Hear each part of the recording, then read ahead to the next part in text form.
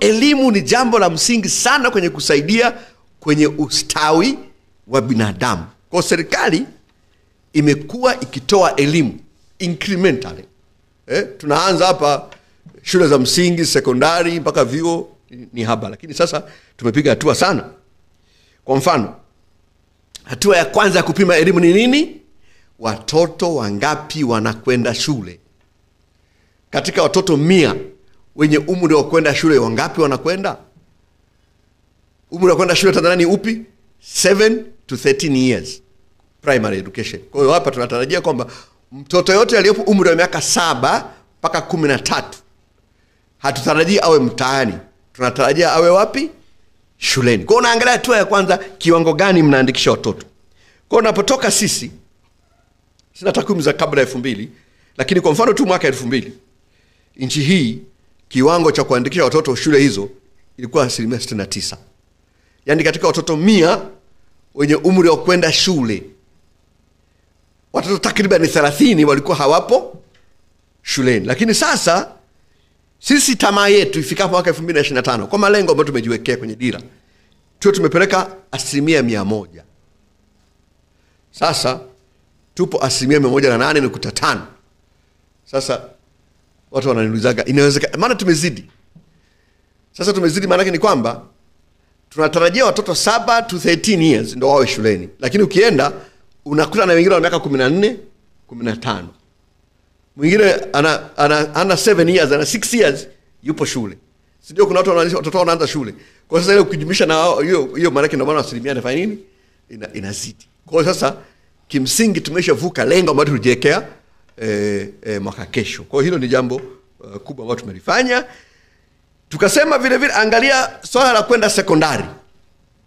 Hiyo wakati tunaanza mwaka 64 ilikuwa around 5% watanzania wanaomaliza shule ya msingi wanaweza wakaenda sekondari.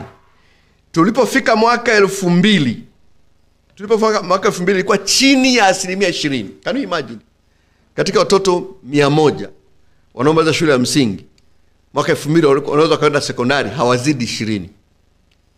Na tukajiwekea lengo kwamba ifikapo eh, mwaka elfu mbili na ishirini na tano tuwe tumefika asilimia arobaini na nane. Nilikuwa naangalia takwimu za juzi tupo asilimia sabini please. Sio? Najua waandishi wa habari amruhusi kupiga makofi. Naweza mkapiga tu kwenye hilo. Sio ubaya mna ubaya wote. Eh. sasa yani natuzungumzia nini? Tulijiwekea lengo la asilimia 48 ifikapo mwaka kesho. Lakini takwimu za juzi nikisoma taarifa ya wizara ya elimu takriban asilimia sabini. Yaani katika watoto mia wanaomaliza primary education hapa tanzania asilimia sabini wanakwenda sekondari.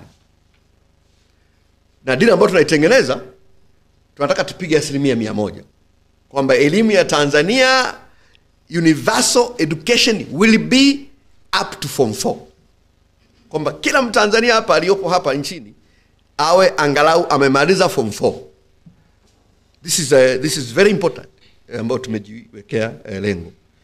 Kwa hiyo uh, haya ni baadhi ya maeneo ambayo mnaangalia then tunaweza kuzungumzia elimu zinazofuata sasa. Muhimu ni kwamba basic education must be for all. Basic education must be for all. Kwa sababu gani? Ndio inayompa mtu stadi za maisha za kufanya asurvive mtaani aweze kuvaa vizuri aweze kula vizuri aweze kufanya mazoezi aweze kuepuka matatizo mbalimbali.